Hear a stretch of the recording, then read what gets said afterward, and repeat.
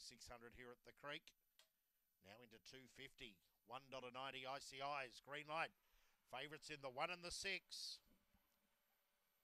Racing, Icy Eyes began fast. Hara Sky was near last away. It's gone right to the outside. In front is Icy Eyes by two. Springtime Rose, third Blazing Smoke, followed by Seaway Flyer. Hara Sky wide on a forward move.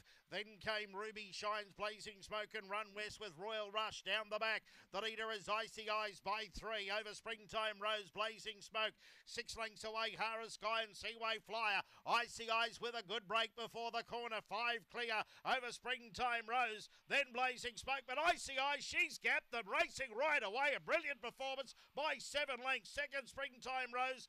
Third, Blazing Smoke. Seaway Fly.